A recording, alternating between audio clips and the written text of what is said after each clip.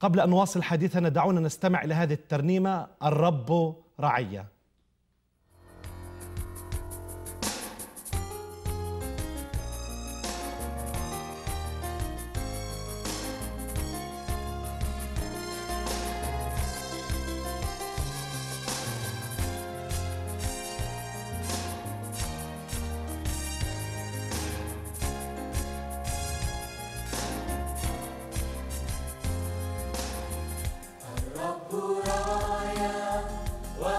be birthday.